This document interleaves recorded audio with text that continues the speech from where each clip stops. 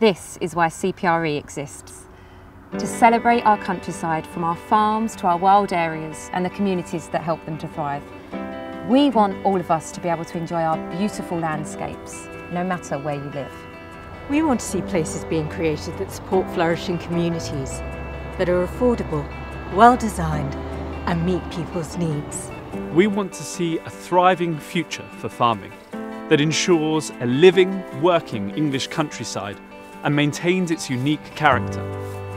You might be surprised that we're interested in urban regeneration too, because developing our towns and cities into great places to live is an important way of protecting our green spaces from damaging developments.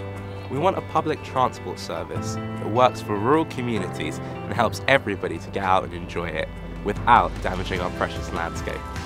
Just like you, we hate to see litter. So we help to clean it up and campaign for schemes that reduce it. We want this for everyone, now and for future generations.